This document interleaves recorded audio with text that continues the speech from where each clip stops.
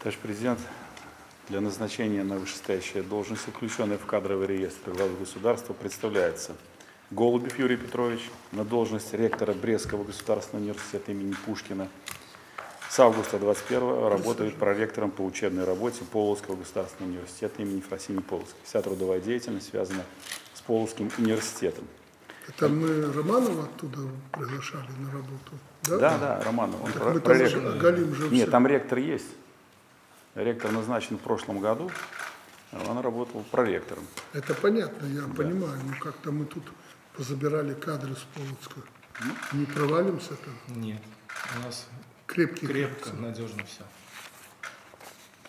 Алексей Юрий Марьянович представляется на должность генерального директора Национальной киностудии «Беларусьфильм». С октября 2012 работает генеральным директором Гродно обл. видеопроката. Кандидаты изучены, проверены. Спасибо. Что касается университета, я не думаю, что какие-то у вас будут там сложности в плане управления, подходов соответствующих.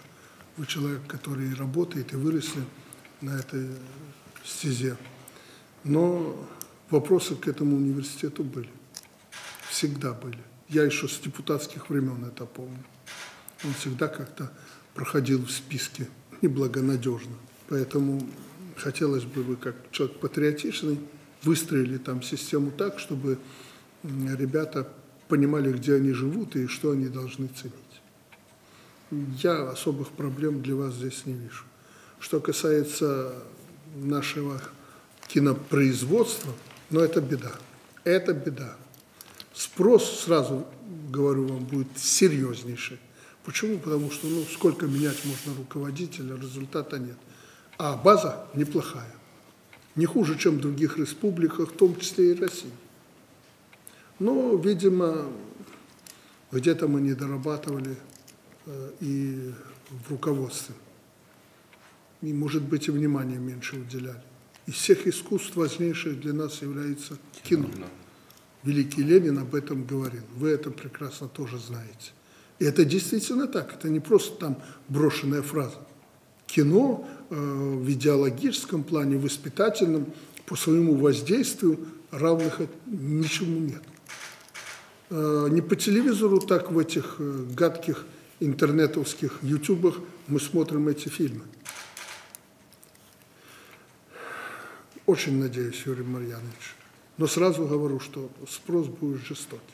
Нужно выдать на гора определенное, допустим, количество фильмов разных, для разных категорий.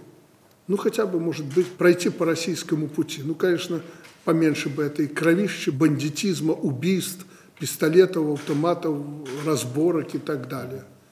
Хотя и у нас есть э, времена, которые мы должны людям показать, что было на самом деле.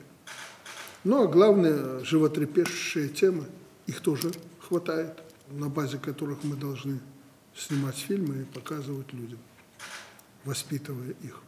Очень надеюсь. Мы сейчас там некоторые направления обозначали, правда, извне.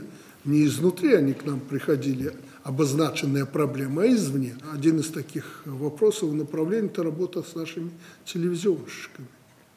Это мы там студию решили какую-то большую сделать. У них есть кое-какие деньги сейчас, поэтому надо объединяться и действовать.